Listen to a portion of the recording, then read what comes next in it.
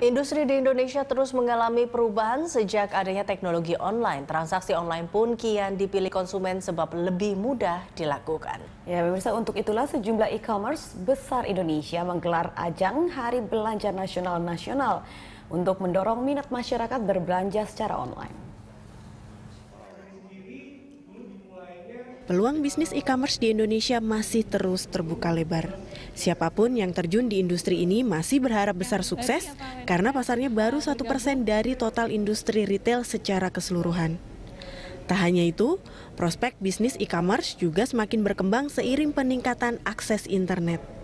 Untuk itulah, sejumlah e-commerce besar Indonesia menetapkan tanggal 12 Desember sebagai Hari Belanja Online Nasional atau Harbolnas. Acara ini digagas untuk mendorong dan mengedukasi masyarakat Indonesia mengenai kemudahan berbelanja online. Selain itu, untuk mendukung perkembangan industri ini, para pelaku bisnis online tanah air juga meminta pemerintah agar membenahi infrastruktur terkait. Salah satunya adalah seperti sistem keamanan konsumen. Struktur yang paling penting uh, pertama adalah uh, dari sisi keamanannya sendiri. Bagaimana data uh, seorang pembeli, kita sebagai pembeli bisa terjamin dari sisi keamanan ketika bertransaksi. Infrastruktur yang kedua yang dibutuhkan tentunya adalah uh, mekanisme untuk paymentnya. Jadi bagaimana untuk bisa melakukan uh, pembayaran uh, secara mudah, secara aman. Yang infrastruktur yang ketiga yang tentunya dibutuhkan adalah tentunya adalah infrastruktur internetnya sendiri.